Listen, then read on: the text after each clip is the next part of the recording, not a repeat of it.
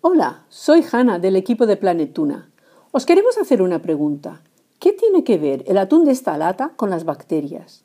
Y no, no estamos hablando de bacterias que te dan dolor de tripa, sino de las que viven libremente en el mar. Hasta hace no tanto, estas bacterias eran unas auténticas desconocidas, a pesar de que, como veremos, son las reinas de los ecosistemas marinos y sin ellas no hay lata, ni atún, ni nada. Os presento a una de ellas, Prochlorococcus, una simpática bacteria fotosintética. ¿Cómo puede ser que no se las conociera?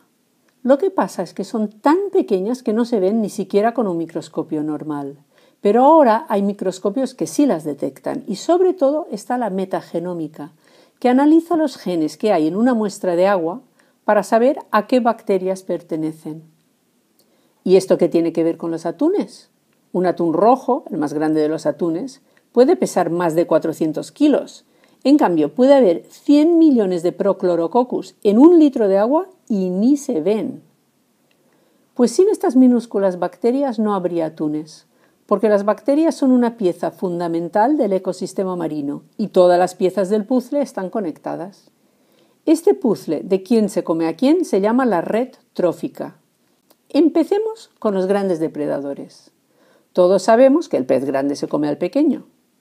Estos a su vez se comen a otros peces, crustáceos y cefalópodos más pequeños. Estos últimos pequeñines se alimentan sobre todo de zooplancton. El zooplancton son mini animales, incluidas larvas de peces y de invertebrados, pequeños crustáceos y criaturas unicelulares que viven en el agua. ¿Y estos qué comen? Pues la mayoría come fitoplancton, que son como plantitas porque hacen la fotosíntesis, o sea que fabrican su propia comida usando agua, CO2 y energía del sol. El fitoplancton incluye microalgas como las diatomeas y los dinoflagelados, y también muchísimas bacterias fotosintéticas. La más importante es nuestra amiga Prochlorococcus. Aquí la vemos forrándose de agua, CO2 y sol, y llenándose de carbohidratos. O sea que las bacterias son importantísimas creadoras de alimento en el mar, sobre todo en aguas abiertas con pocos nutrientes, que es justamente donde les gusta criar a los atunes. Mm, y Prochlorococcus me recuerda que por si eso fuera poco, ella y el resto del fitoplancton producen el 50% del oxígeno que respiramos. Toma ya. Pero para vivir y reproducirse, a este fitoplancton no le basta solo con luz, CO2 y agua. También necesita una serie de elementos tipo fósforo y nitrógeno que extrae del agua. ¿Verdad, Proclo? Sí, me dice que así es. Lo mismo pasa con una col o una lechuga. Necesita absorber nutrientes de la tierra para poder crecer. Un horticultor puede amontonar restos vegetales y estiércol y hacer compost. En el montón las bacterias y hongos lo descomponen todo liberando nutrientes. El horticultor lo usa para tener verduras lozanas y felices. Y en el mar, pues tres cuartos de lo mismo. Los restos de comida, cadáveres varios y las caquitas de todos los seres que hemos visto, tanto los visibles como los microscópicos, van cayendo lentamente hacia las profundidades. Por el camino, a esta nieve de partículas se la zampan las bacterias. Estas bacterias no fabrican su propio alimento, sino que junto con otros microorganismos se dedican a desmontar estas partículas de basura. Absorben lo que les interesa y lo que sobra son moléculas más sencillas, que son justamente el abono que necesita el fitoplancton de más arriba.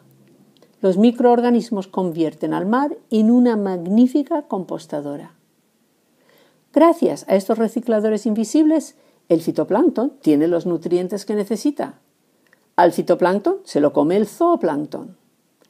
El zooplancton sirve de merienda para larvas de peces y demás animalejos que a su vez alimentan a otros más grandes, que son las presas favoritas de peces más grandes, hasta llegar de nuevo al atún y a los demás grandes depredadores. Los científicos están trabajando para entender la parte invisible de la red trófica. Es importante entenderla para saber cómo reaccionará ante el cambio climático o la contaminación y también para planificar una pesca sostenible a largo plazo. Sin la parte invisible de la red trófica, toda la red se caería, incluidos nuestros queridos atunes, que son una importante fuente de proteínas para medio mundo. Vegetarianos aparte, los humanos somos depredadores de los demás depredadores, con lo cual también somos parte de la red trófica marina y lo que hagamos afectará a todo el resto de la red.